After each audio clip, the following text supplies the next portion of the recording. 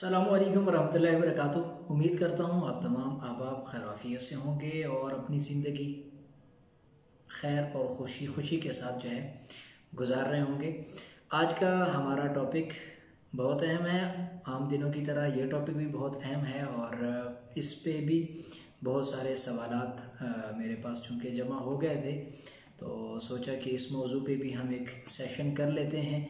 जो बातें मेरे जहन में हैं इस मौजू से मुतक़ और जो कुछ अपने इस अपने टीचर से और इस फ़ील्ड के माहरीन से सुनी हैं तो वो भी आपके साथ मैं शेयर कर दूँ।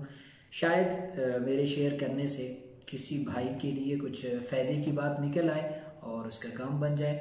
बस इसी नीयत से आज के सेशन के साथ आपकी खिदमत में हाज़िर हुआ हूँ। तो जी, शुरू करते हैं आज के सेशन से मुतक गुफ्तु तो आज का टॉपिक आप देख रहे होंगे कि टॉपिक मैंने लिख दिया है कि ज़िंदगी में हम मुख्तलिफ़ मौक़े पर नाकामी का शिकार हो जाते हैं और हमें कामयाबी से जो है कामयाबी नहीं मिल पाती और हम नाकामी का सामना कर बैठते हैं। तो उस नाकामी का सामना क्यों हम करते हैं? क्या उसकी वजूहत होती हैं? तो वो शेयर कर देता हूँ मैं। तो इस मौजू से देखें, सबसे पहली चीज़ तो जो है ना, वो ये है कि हम अपने जिस भी फ़ील्ड में हम काम कर रहे होते हैं तो उसमें नाकामी हमें इसलिए हो जाती है कि हम कदम ब कदम उसमें नहीं चलते। बहुत अहम पॉइंट है, थोड़ा सा आप इसको गौर से अगर समझेंगे। कदम ब कदम किस तरह से? कि, यूँ मिसाल से आप समझ लें। कि हमें अगर बिलफर्ज घर बनाना है ना तो हम क्या करते हैं कि हम डायरेक्ट ये सोचने लग जाते हैं कि घर के लिए जो मैंने ईंटें लेनी हैं तो वो कौन सी दुकान से लेनी है या कौन सी डीलर से लेनी है? या ये कि घर के लिए जो घर के छत पे मैंने गार्डर डालने हैं ना तो वो मैंने कहाँ से ख़रीदने हैं? या ये कि घर के दीवारों में जो मेरा सीमट लगना है ना तो वो मैंने कौन सी फैक्ट्री का इस्तेमाल कर ले करना है? तो इस तरह के सवाल जो है हम आ, सोचना शुरू कर देते हैं। जबकि घर बनाने के लिए जो सबसे पहली चीज़ हमें दरकार थी वो ईंटों से पहले वो सीमेंट से पहले वो गार्डर वगैरह से पहले जो चीज़ हमें ज़रूरत थी वो थी पैसे। ठीक है? तो सबसे पहले तो ये सोचना चाहिए था कि जिस जिन पैसों से मैं ईंटें ख़रीदूँगा, जिन पैसों से मैं गार्डन ख़रीदूँगा, जिन पैसों से मैं घर की तामीर के लिए सीमेंट ख़रीदूँगा, उन पैसों का इंतज़ाम किया जाए। और जब उन पैसों का इंतज़ाम हो जाए तो फिर उसके बाद अगली सरदर्दी जो है, वो सर ली जाए कि ईंटों के बारे में सोचा जाए, बजरी के बारे में सोचा जाए और दीगर चीज़ों के बारे में सोचा जाए। ये तो खैर एक मिसाल थी कि मैंने आपको समझाया कि जब भी आप ज़िंदगी के किसी फ़ील्ड में काम करें तो उसमें जो है नाकामी का जो हमें सामना होता है, उसकी सबसे पहली वजह और सबसे पहला पहलू ये होता है कि हम कदम ब कदम नहीं चलते। हम, जो काम बाद में करने के होते हैं, जिस काम का, जिस पॉइंट का नंबर दूसरा, तीसरा, चौथा या फिर पांचवा होता है, उसको हम पहले नंबर पे ही साथ में सोचने लग जाते हैं, जिसका नुकसान ये होता है कि हमें नाकामी से दो चार होना पड़ता है। तो इसलिए जब भी आप ज़िंदगी में किसी फ़ील्ड में या किसी भी कारोबार में या कहीं भी भी आप काम करने लगें तो उसको, उसके आप नंबर बना लें। कि सबसे पहले मैंने ये करना है और उसके बाद मैंने ये चीज़ करनी है और जब ये चीज़ हो जाए तो फिर उसके बाद मैंने ये काम करना है। नंबर वार अगर आप उसे करते चले जाएँगे ना तो यकीन माने एक दिन आएगा। कि आपका वो काम हो जाएगा। लेकिन अगर आपने 10 पॉइंट बनाए और 10 पॉइंट को आपने बैक वक्त स्टार्ट कर लिया और उसको इकट्ठा ही शुरू कर लिया और उसको सोचना शुरू हो गए तो यकीन माने कि वो आपके दिमाग में एक खिंच सी बन जाएगी, जो आपको अगला कदम उठाने की हिम्मत आपसे छीन लेगी। आप अगला कदम नहीं उठा पाएँगे और आपको जो है फिर नाकामी का सामना करना पड़ सकता है। तो सबसे पहला पॉइंट ये है कि आप जब भी किसी फ़ील्ड में काम करें किसी कोई कारोबार शुरू करें तो उसको कदम ब कदम नंबर वार जो है उसको करते चले जाएँ। इससे आपको इन बहुत अच्छे नतज देखने को मिलेंगे। दूसरी चीज़, अब समझें point number two point number दो, और पश्तो में कहूँ तो पॉइंट नंबर द्वाम सही है? तो इसको आप समझते चले जाएँ कि दूसरा पॉइंट का है? दूसरा पॉइंट जो सबसे अहम है और शायद पहले पहलू के वो पूरा कायम मकाम है या उससे भी इसको अहम समझ लें कि आप जिस फ़ील्ड में भी काम करना शुरू कर रहे हैं ना तो उस फ़ील्ड से मुतल जो उसके माहरीन हैं, जो लोग उस फ़ील्ड में काम कर रहे हैं, आप उनसे हेल्प ज़रूर लें। बिलफर्स मैं आपको एक मिसाल से समझाता हूँ कि आप जो है, घर बनाने लगे हैं।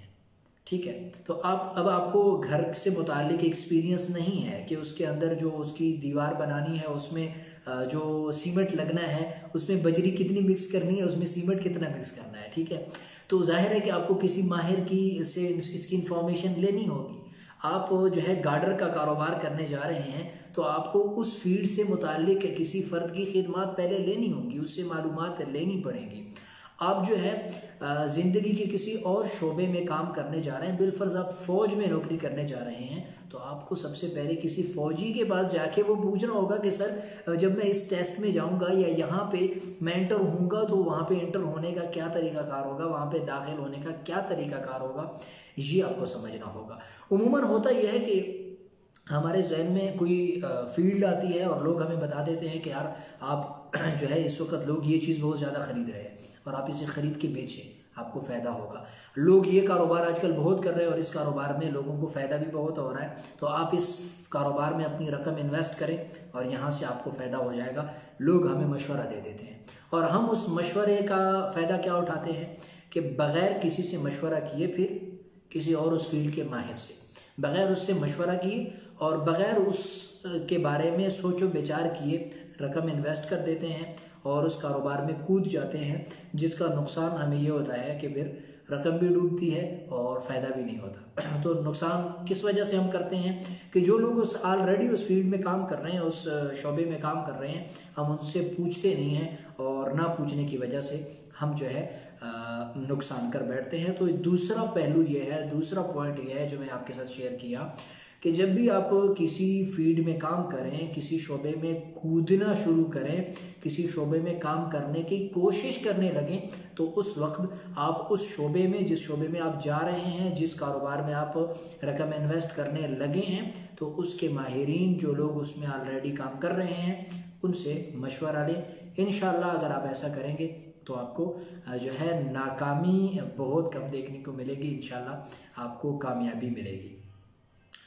तीसरा और अहम पॉइंट ये पहले दो जो पॉइंट मैंने ज़िक्र किए ना, फिर मैं एक दो एक दफ़ा गिनवा देता हूँ कि जब भी आप किसी कारोबार में काम करना शुरू करें तो आप उसके नंबर बना लें कि सबसे पहले मैं ये काम करूँगा। नंबर से क्या मतलब? सबसे पहले मैंने ये काम करना है मसलन घर बनाना है तो सबसे पहले पैसे जमा करने हैं, फिर ईंटें ख़रीदनी है, फिर सीमेंट ख़रीदना है, फिर उसके लिए गार्डर और सरिया और ये चीज़ें ख़रीदनी है, ठीक है? जब ये ख़रीद लूँगा तो फिर घर तैयार हो जाएगा। ठीक है, अब जब ये आपने नंबर बना लिए तो फिर आप सबसे पहले एक नंबर से स्टार्ट लें कि सबसे पहले पैसे जमा करें। जब आपके पास पैसे जमा हो जाएँ तो अब आप ईंटें खरीदें। जब ईंटें खरीद रहे हो तो फिर आपने सीमेंट उस वक्त तक दिमाग पे बोझ नहीं डालना कि सीमेंट किस कंपनी का खरीदूँगा। तो नंबर बनाएँ और नंबर के बाद आप नंबर वाइज उन चीज़ों को कंप्लीट करते चले जाएँ, मुकम्मल करते चले जाएँ। इन आपको अच्छे नतज मिलेंगे। और इसी तरह फिर आप जो है क्या कहते हैं कि जिस फ़ील्ड में काम करना शुरू कर रहे हैं, उस फ़ील्ड के माहरीन से भी दूसरा पॉइंट ये था कि मशवरा लें और एक से नहीं, दो से नहीं, तीन से नहीं, कम अज़ कम आप पाँच अफराद से मशवरा लें कि भाई इस फ़ील्ड में आप काम कर रहे हैं, आपकी क्या एक्सपीरियंस है, आपके क्या तजर्बा है और इसमें अगर मैं काम करना चाहूँ तो मेरे साथ आप अपनी नॉलेज शेयर करें, अपनी मालूम शेयर करें ताकि मुझे इस फ़ील्ड में नुकसान ना हो और मेरे पास कुछ थोड़ी सी रकम है, अगर उसका नुकसान हो गया तो ज़ाहिर है कि मेरे पास तो फिर कुछ नहीं बचेगा, ठीक है? तो ये जो है, आप इन दो चीज़ों का। और तीसरी चीज़ इनके लिए जो जो है, बहुत ही इम्पोर्टेंट और ज़रूरी है, वो ये है कि आपने इन दो चीज़ों के साथ दुआओं का अहतमाम करना है। ठीक है? अगर आपके पास पैसा भी है, आपने उसके नंबर भी बना लिए आपने मालूम भी ले ली। लेकिन आप अल्लाह से नहीं मांग रहे ना तो ज़ाहिर है कि दरमियान में कनेक्शन ख़राब होगा और फिर आपको नुकसान होगा। तो कारोबार में बरकत तब आएगी और कारोबार में आपको अच्छा फ़ायदा तब होगा। तो के जो है, आप इस तरह से दुआओं का भी सिलसिला जारी रखेंगे। ये हमारे एक भाई का कमेंट आया कि एजाज भाई, आखिर में पाँच मिनट सवाल के लिए दे दें। तो मेरी आपसे गुजारिश है कि अभी आप अपने सवाल भेजते चले जाएँ। आप अपने सवाल जो आपके हैं तो आप भेजते चले जाएँ। मैं इन सेशन के आखिर में उसके जवाब देता चला जाऊँगा। आपके सवाल अभी आने चाहिए। ठीक है, आखिर में फिर वैसे बैठ जाना वो थोड़ा सा अजीब लगता है और वैसे टाइम वेस्ट हो रहा होता है। तो इसलिए आप अभी अपने सवाल भेजते चले जाएँ। इन सेशन के आखिर में मैं उनको देखता चला जाऊँगा और आपको जवाब भी देता चला जाऊँगा। ठीक है? तो इस इस टॉपिक से मुतालिक यानी मैंने आखिर में ज़िक्र किया कि सबसे पहले दो चीज़ों को देखने के बाद आप इन, इनके साथ साथ सिर्फ़ जो है अपने ऊपर सारा इन्हिसार ना करें कि मेरे पास पैसा है, मेरे पास ताकत है, मेरे पास अकल है, सब कुछ है और आप अल्लाह से ना मांगें तो ये जो है बहुत अजीब सा पहलू होता है कि इंसान फिर बसात बहुत नुकसान कर बैठता है। इसलिए अल्लाह ने जो आपको ताकत दी है, आपको हिम्मत दी है, आपको अकल दी है, उसके साथ साथ आप अल्लाह का शुक्र भी अदा करें, अल्लाह से दुआएँ भी मांगे कि शुक्र है कि मैं इस काम करने का जो है पहल हुआ हूँ और मैंने एक तजारत शुरू की है। देखिए कोई भी कारोबार, वो तो आप पे है ना कि आप जो कारोबार कर रहे हैं या जिस फ़ील्ड में जा रहे हैं, उसके दुरुस्त या गलत होने का इंतखब आपने करना है। और मैं तो यही मशवरा दूँगा। कि हलाल फ़ील्ड में भी इतना पैसा है कि आपको हराम में जाने की ज़रूरत नहीं है। हलाल में जितना अल्लाह देते हैं ना, उतना हराम में नहीं देते। हराम में बहुत नुकसान भी हो जाते हैं, ठीक है? तो इसलिए आप हलाल कमाएँ और इन उसमें आपको बरकत भी मिलेगी और आपको अच्छा जो है रिस्क मिल सकता है। तो बस ये कुछ सवाल थे इस मौजू पे कि हम कारोबार करते हैं, उसमें नुकसान कर बैठते हैं। तो उसकी क्या वजूहत होती हैं? तो ये दो तीन मेरे जहन में थी। मैंने आपके साथ शेयर कर दी। अब आपके कोई सवाल हों, जिस तरह एक भाई ने कहा था तो आप भेज दीजिए, मैं एक से दो मिनट ही आपका इंतज़ार करूँगा। अगर कोई सवाल आ गया तो ठीक है, और अगर ताख़ीर हो गई तो फिर इंशाल्लाह आप इसी वीडियो के कमेंट्स में भेज दीजिए। बाद में अगले कल के लाइव सेशन में उस पर हम गुफ्तु कर लेंगे। तो अपने भेजें अब सवाल ये हमारे गुमनाम मुजाहिद के नाम से एक आईडी आ रही है उनसे ये जो है सवाल आया था कि कमेंट आया है। और इसी तरह इलियास अहमद नक्श नसीरा, नसीराबादी, इलियास अहमद नसीराबादी भाई कह रहे हैं कि अस्तफ़िरल्ला तो क्यों अस्तफ़ार की यहाँ पे कौन सी नौबत आई है? या वैसे ज़िक्र कर रहे हैं कमेंट में आके। मेरे ख्याल में ये कमेंट्स में आके ना ज़िक्र कर रहे हैं। अच्छी बात है, करना चाहिए। या कोई और ऐसा टॉपिक आपको लगा है कि जो नहीं बोलना चाहिए था, उस पर इस्तफ़ार कर रहे हैं शायद? तो माशाल्लाह हमारे कलीमुल्ला भाई भी लाइन पे हैं। अल्लाह आपको खुश रखे। ऑनलाइन कुरान अकेडमीज़ की अहमियत और ज़रूरत और अहदाफ क्या हैं? हमें यूट्यूब चैनल किस मौजू पर बनाएँ? देखिए ऑनलाइन अकेडमीज़ की अहमियत, ज़रूरत, आदाब आदाब तो आपको मालूम है कि हदफ आपका यही है कि लोगों को कुरान हम पढ़ाएँ। ऑनलाइन कुरान अकेडमी जब है तो ऑनलाइन कुरान पढ़ाना आप चाह रहे हैं। हदफ तो आपका यही है। बहरल अहमियत भी है। वो इस तरह से कि बैरून ममालिक में जो लोग रह रहे हैं उन बेचारों को पढ़ाने वाले और दुरुस्त अदायगी के साथ कुरान पढ़ा पढ़ने वाले पढ़ाने वाले बहुत कम मिलते हैं। तो वो लोग चाहते हैं कि हमें कोई ऐसा कारी साहब मिल जाए, ऐसे मौलाना साहब और ऐसे मुफ्ती साहब मिल जाएँ, जो हमें कुरान मजीद तजवीद के साथ पढ़ा दें। लेकिन उन बेचारों के पास, उन ममालिक में पढ़ाने वाले कम होते हैं। तो हम लोग ही अगर इस फ़ील्ड में आगे को जाएँगे और कोशिश करेंगे तो इन उन लोगों तक हम रसाई हासिल कर सकेंगे और उनको अच्छे अंदाज से कुरान पढ़ा सकेंगे। देखिए, ऑनलाइन बहुत सारे लोग ऑलरेडी काम कर रहे हैं। लेकिन इस काम करने से रिजक तो अल्लाह ने दिया। है ज़ाहिर है कि उस आदमी को अगर आप वक्त दे रहे हैं, कुरान पढ़ा रहे हैं तो वो आप, आपको कुछ ना कुछ उसका एवज देगा, क्योंकि आप उसको वक्त दे रहे हैं। अगर आप उससे एवज नहीं लेंगे तो ज़ाहिर है कि आपके भी बाल बच्चे होंगे। तो फ्री में तो मुमकिन मुमकिन नहीं होगा ना। ज़ाहिर है कि घर चलाना होता है। तो लेकिन आप उसमें नीयत ये रखें कि मैं ये कुरान पढ़ा रहा हूँ, महज अल्लाह के लिए पढ़ा रहा हूँ। उसमें पैसे कमाने की नीयत नहीं होनी चाहिए, क्योंकि वो जो है ना, वो फिर बात एक कुछ और तरह की हो जाती है। इसलिए इससे थोड़ा सा इज्तनाब करना चाहिए।